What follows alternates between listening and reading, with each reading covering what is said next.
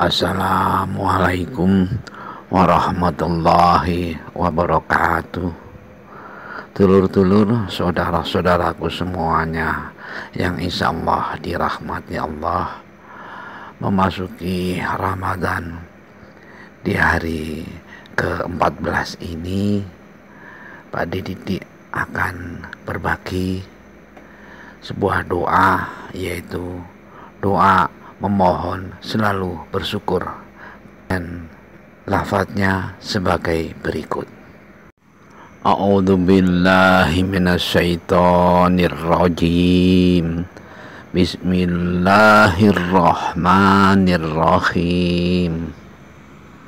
Rabbi aujidni an askura nikmataka allati an'amta alayya wa ala walidayya wa an a'mala salihan. Tardahu wa adkhilni bi rahmatika fi ibadika solihin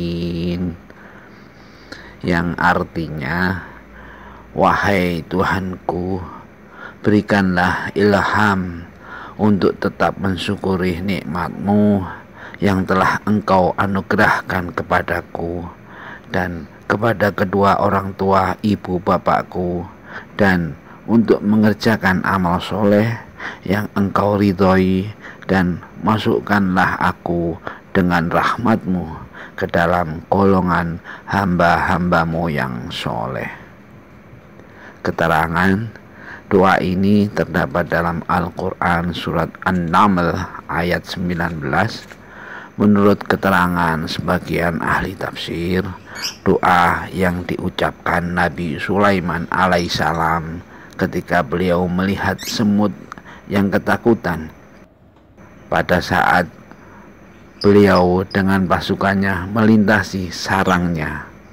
Beliau memang diberi mukjizat dapat mengerti bahasa binatang menyadari begitu besarnya nikmat Allah yang telah diberikan kepada dirinya sehingga beliau mendengarkan perintah Raja Semut yang menyuruh rakyatnya masuk ke dalam sarangnya. Mengalami kejadian itu, beliau tidak menyombongkan diri. Beliau justru merasa rendah sekali di hadapan Allah Subhanahu wa taala.